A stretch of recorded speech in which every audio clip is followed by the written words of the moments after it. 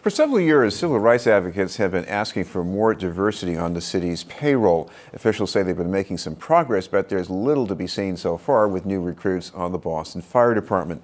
Making a new effort to change that are firefighters in the Boston Society of Vulcans and the Lawyers Committee for Civil Rights and Economic Justice.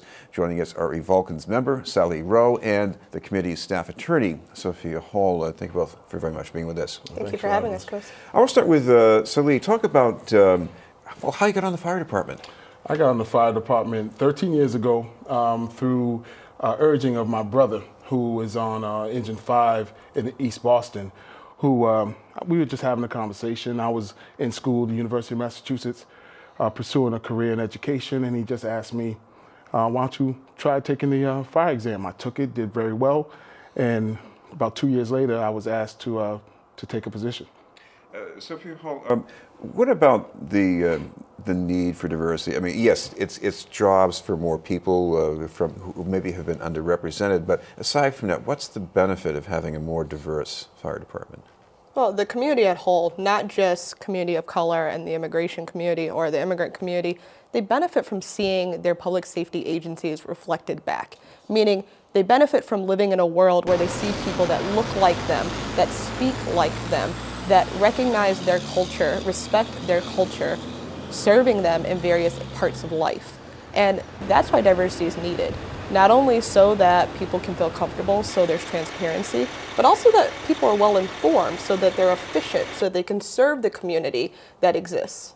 Salih, what about you? Where do you see the benefits? As Sophia alluded to, the the us responding to emergency situations is is very important, but still time wise, uh, a minuscule part of, of, of what we do. Most of our impact happens outside of the fire department. Um, it's very important that when we're off the job, particularly uh, black and Latino firefighters, we work in our communities when we're not in uniform to kind of foster that, uh, that link and that understanding be be between the citizens and firefighters.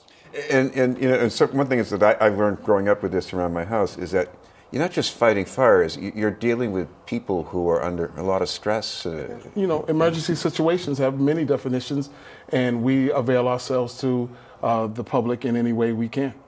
Sophia, what, what about ways to, to overcome this? Because we keep hearing about the barrier of, well, maybe veterans' preference. Uh, you know, uh, I mean, is, is, there some way to, to, to change the numbers and, and, and still have a good, qualified fire department?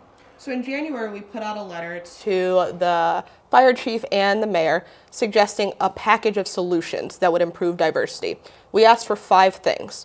One, that we shorten the residency preference requirement, which is currently at one year, and or excuse me, not shorten, but elongate to make it three years so that locals would have an opportunity to actually apply and have that preference. We asked for there to be more involvement in the recruitment and the hiring process from the Vulcans to be able to use their expertise in recruiting new firefighters. We asked for them to take into consideration special talents and techniques such as language preference and things like that that would help them work within the community that they're serving. We always ask for implicit bias training because it's important for all bodies, all agencies to understand what bias they have, to be able to overcome that and work through that as they serve the community. And we also talked a little bit, um, excuse me, about a cadet program We've seen hopefully some success in the Boston Police Department. There's really no reason why we can't mirror some of that model for the Boston Fire Department. This is BNN News. We're talking with Sophia Hall from the Lawyers Committee for Civil Rights and Economic Justice and Salih Rowe from the Boston Society of Vulcans. Uh, Salih, what about some ideas the Vulcans have? About, what would they suggest about ways to, to at least get more people into the recruiting pool? Well, I think the cadet program is probably, uh, in our estimation, one of the flagship uh, initiatives that we can propose. I, as a as a Vulcan member, and just as a concerned member of my community, I'm in schools a lot, Chris, and talking to a lot of uh, students who are weighing their options after high school. They're not all ready for college. College isn't for everyone, but we we are certainly encouraging them to uh, consider the Boston Fire Department as an option, but um, we want to be able to um, attach a semblance of realism to that uh, offering. We don't want them to just say it's, it's a pie in the sky type of uh, type of situations. We want to be able to offer them some salient inroads to actually uh, realizing that that that dream. Uh, so, if you're talking about the other reason for, for getting uh, maybe a closer look at these recommendations, because I guess the idea is that if the city does nothing, that might uh, change their uh, legal uh, position in the sense that they could be maybe more vulnerable to some uh, other kinds of pressure.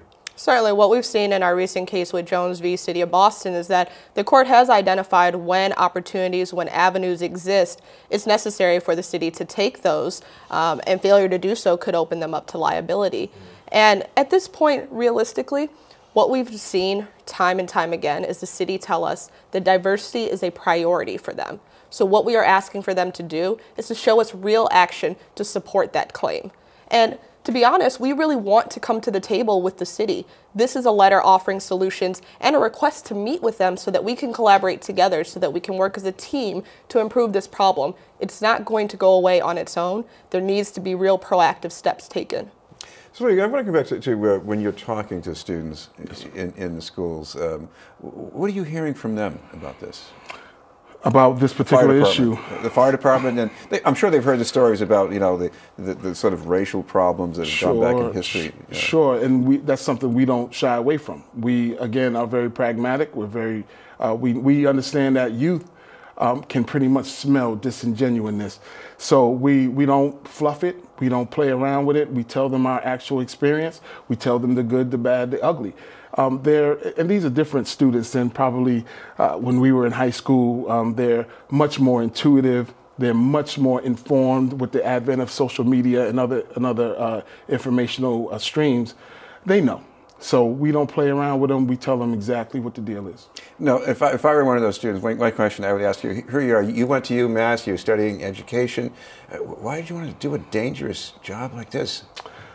the city of Boston and its citizens deserve somebody like me to be protecting them. Um, uh, and I'm, I do not mean that in any uh, elitist sort of way. I mean that in I, I genuinely care about people, and um, I want the um, the Boston Fire Department to reflect uh, the citizens that regard them in so much uh, with so much high regard. Because, like you said, when I was talking to these students, they have nothing but the highest um, um, regard for the Boston Fire Department.